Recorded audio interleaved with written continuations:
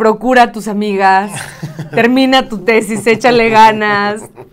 Sí se vale, sí se vale equivocarse, Charlie. Eh, si, eres merecedora de amor y para dar y recibir. Creo que eso yo le diría a Charlie. Yo le diría a Nico, eh, confía que todo va a estar bien, este, que todo se aprende y se crece. Sí. Confía.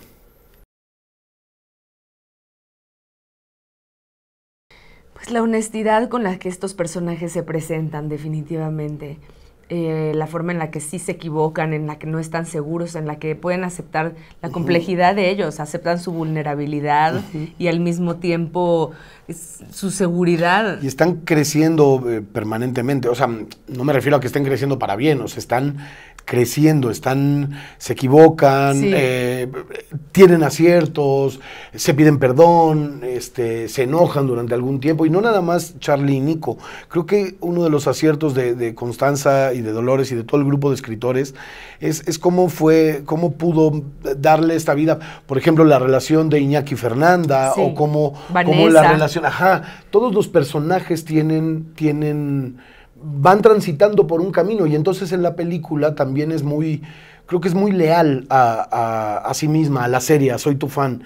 Creo que es muy leal porque, porque está en el, en, el, en el mismo lenguaje. Si bien pasaron 10 años, siguen siendo los mismos personajes, pero 10 años después. Algunos crecieron más que otros, algunos aprendieron más cosas, otros no tanto, pero así es la vida también. Eh, creo que es leal.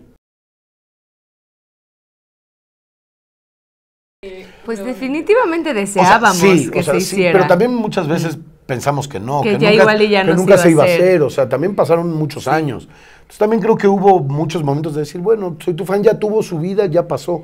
Pero, la Pero ganas y, o sea, y esperanza también y la gente no nos dejaba dejarla atrás. La gente no olvidaba a estos personajes, la gente quería más de Soy tu fan y se encargó de recordárnoslos todos los días por cualquier tipo de red social. Querían más de este proyecto. Y, bueno, nosotros también, obviamente. Y se terminó juntando de una forma tan bonita, tan maravillosa. Fue una peli de pandemia que, eh, eh, sin embargo, o sea, cuando no es, muestra locaciones de la ciudad, eh, en específico como lo hizo la serie, eh, eh, bueno, durante el transcurso de todo el proyecto, porque como te digo, fue una peli pandemia que tuvimos que hacer en Acapulco, en un hotel encerrados, en una burbuja, sí, sí sigue siendo una serie citadina, una serie mexicana, una serie que tiene un lenguaje totalmente reconocible e, e identificable para todos nosotros.